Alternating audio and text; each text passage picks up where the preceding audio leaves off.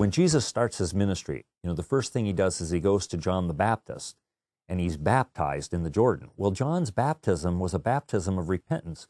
And I never could get my mind around why Jesus went to John to be baptized. He didn't need to be baptized, he didn't have any sins to repent of.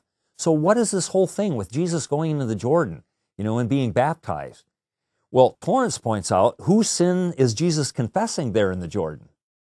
You know, he doesn't have any sins of his own to confess, but taking our sinful, diseased, and alienated humanity upon us as our elder brother, who does it all in our place, on our behalf, and in our stead, Jesus even confesses our sins aright because we can't even do that. So, all of this wallowing in our guilt uh, and everything that we oftentimes do as Christians, we don't even do that right. We can't even repent. We don't even feel sorry for our sins in the right way. Even Jesus has to step into the Jordan. Think of it the Son of God stepping into the Jordan, confessing all of our sins once for all in a perfect way, so that we always have to be worried.